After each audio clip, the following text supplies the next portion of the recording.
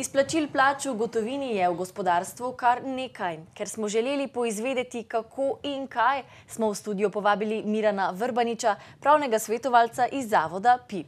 Lepo pozdravljeni. Dobar dan. Kako je torej z izplačili plače v gotovini? Je to še vedno dovoljeno? Danes več ne. Zakon o delovnih razmerjih pravi, da se plača izplačuje preko bančnega računa delavca, lahko pa se s kolektivno pogodbi na ravni dejavnosti določi drugačen način izplačila prejemkov delavcev. Torej, izplačilo v gotovini ni dovoljeno, razen če kolektivna pogodba omogoča takšen način izplačila. Rekli ste, danes več ne. Kdaj je bilo torej to še možno?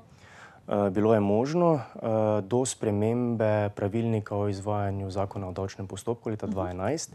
Kasneje se je potem to še potrdilo z novim zakonom o delovnih razmerjih leta 2013. Kaj torej v primeru, če se delavcu izplača plača na roke?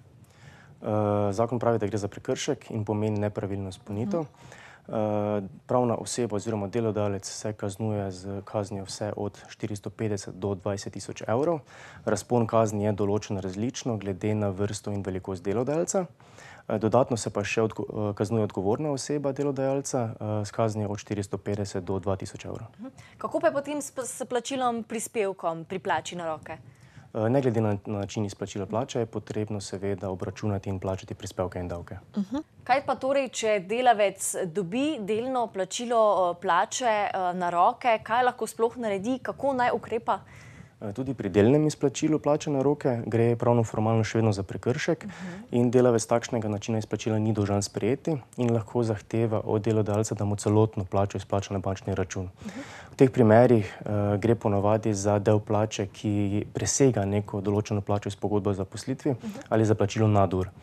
Zdaj, v kolikor gre za del plače, ki je določen s pogodbo o zaposlitvi, še vedno morajo biti še vedno mora biti za celotno plačo obračunani plačani prispevki in davki. Delodajalec riskira obisk inšpektorata za delo, posledično kazen in pa tožbo delavca za izplačilo preostanka plače.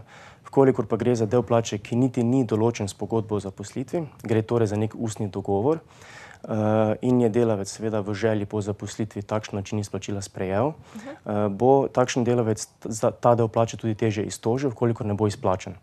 Hkrati pa delodajalec za ta del plače niti ne bo plačeval prispevkov in davkov. Dobro je vedeti torej, na kaj je treba biti pozoren. Hvala za vaše odgovore in hvala, da ste nas obiskali v studiu. Hvala vam za povabilo.